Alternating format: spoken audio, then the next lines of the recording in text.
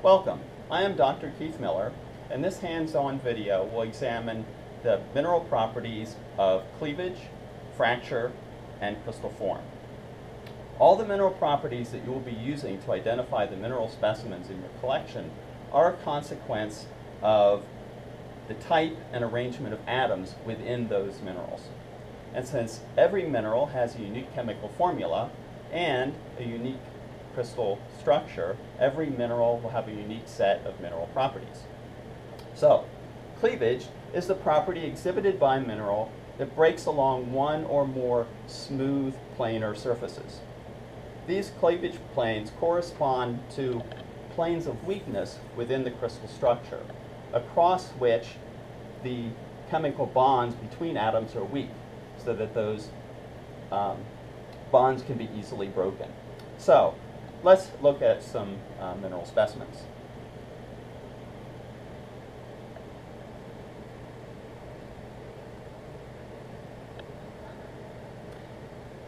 If you look at a collection of mineral specimens, you will notice that some show one or more smooth planar surfaces, while others show none. In some cases, it's very easy to recognize cleavage with smooth, very smooth planar surfaces. So again, another example in which those cleavage planes, smooth, flat surfaces are readily apparent.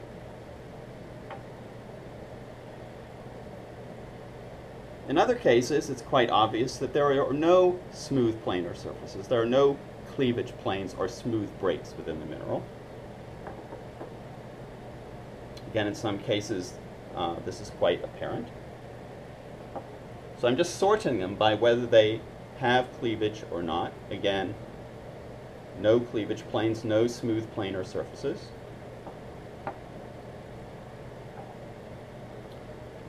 Again, well-developed cleavage planes, smooth planar surfaces. Again, a mineral with obvious cleavage.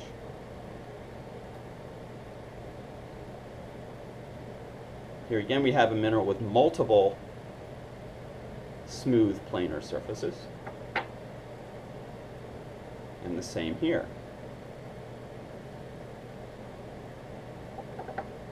Now, in some cases, recognizing cleavage is a little less obvious. For example, in this case, um, this, this mineral has cleavage, but you can see it by the way the light reflects flashes off of the surface. So that even though it's a little less apparent, this mineral also has cleavage. And similarly, this mineral. Also see the way the light flashes off the surface. By contrast, although having shiny, bright surfaces, this mineral shows no smooth surfaces, smooth planar surfaces of breakage. So this also has no cleavage. The samples that uh, I've separated here also show cleavage. And what is important to understand about cleavage is that the cleavage planes are not just on the surface of the mineral, but extend as planes of weakness through the mineral. If the mineral is broken, it will break along these cleavage planes. So let me illustrate this.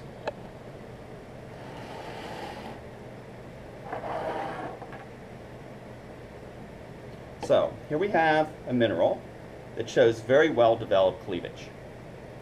And what I'm going to do is I'm going to break this mineral.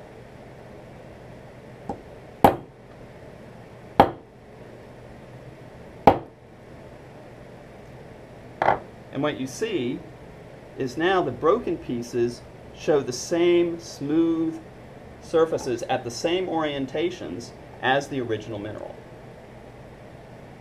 So now this mineral is broken into pieces, each of which resembles the original mineral specimen. So this shows that those crystal planes pass all the way through the mineral specimen. Okay, the cleavage of a mineral is described by the number of different orientation of cleavage planes and by the angles at which those cleavage planes intersect.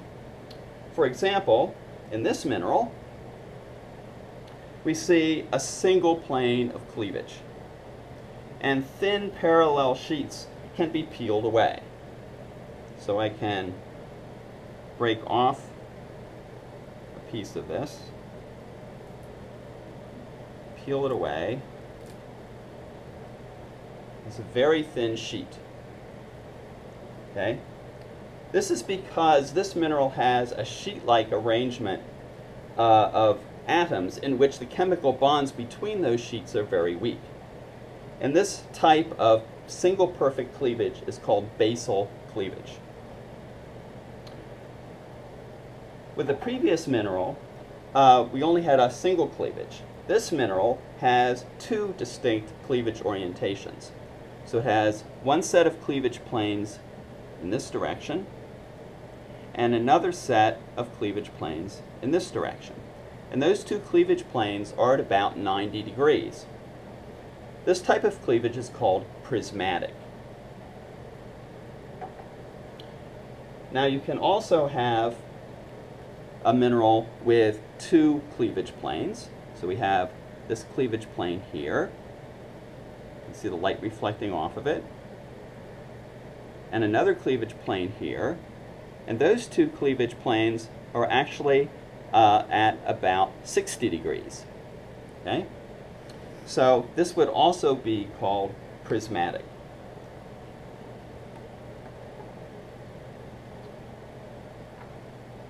Now this mineral, which we've seen before, has three distinct cleavage planes. One here, one here, one here. So one cleavage plane, another set of cleavage planes, and another set of cleavage planes. Each of these cleavage planes intersects the other at 90 degrees, producing what's called cubic cleavage, cubic shape. If this mineral is broken, as we've seen in the previous demonstration, it will continue to break along these three planes, resulting in progressively smaller cubic pieces.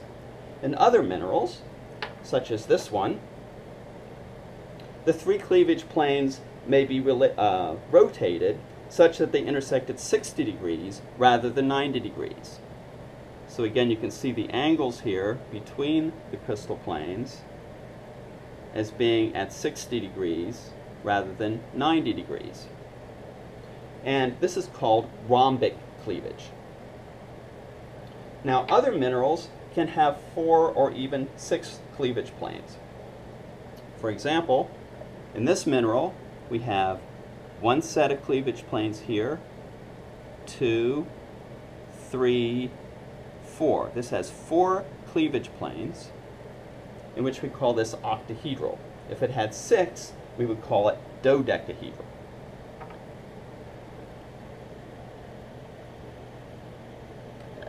Now, remember from our initial sorting of samples that not all of the mineral specimens showed cleavage. We will now look at those minerals that lack cleavage.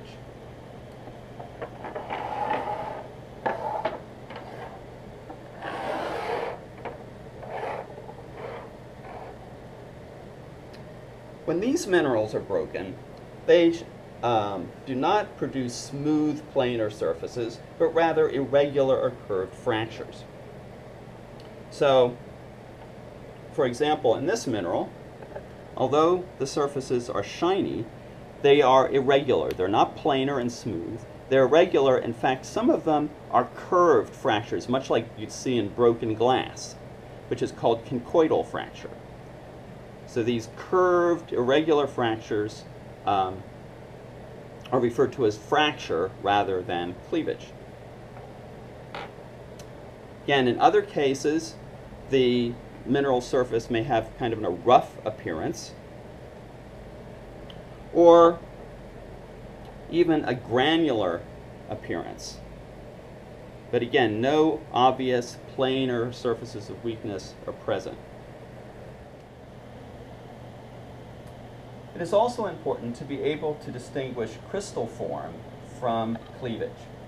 When a mineral crystal grows in an open space where it's not intergrown with other surrounding minerals, uh, interlocking minerals, it will take a particular geometric or crystal form. And that crystal form is determined by the arrangement of atoms within the crystal structure of that mineral. Displayed here are examples of a variety of minerals showing different crystal forms. So in contrast to what we've seen before, the surfaces that you're seeing in these minerals are not cleavage planes, but crystal faces of the crystal form. So for example, in this mineral, you can see the very well-developed hexagonal crystal form. So they have six-sided prisms. But if you were to break that mineral and look at a fractured surface, you'd see that rather than having a smooth planar surface, it has an irregular conchoidal fracture. So this mineral, despite having very well developed crystal form, has no cleavage. It has fracture but no cleavage.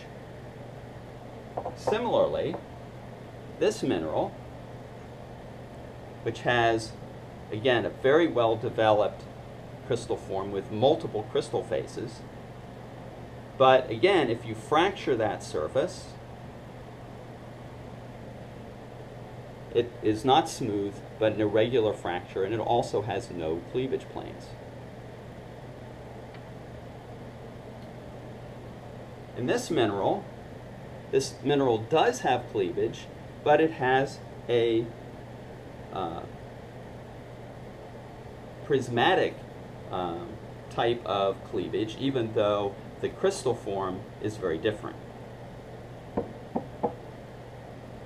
And in this mineral, which we've seen before, which peels off in nice basal cleavage, has a hexagonal crystal form. So this is the crystal form. These are the crystal faces, while this is the cleavage. So the important point is there's no necessary relationship between the shape of the crystal form and the cleavage. Two different distinct things. Okay, to review, cleavage, fracture, and crystal form are all properties of minerals, resulting from the internal atomic structure of those minerals. It is important to recognize that they are distinct and not to confuse them. Cleavage results from planes of weakness within the crystal structure of the minerals.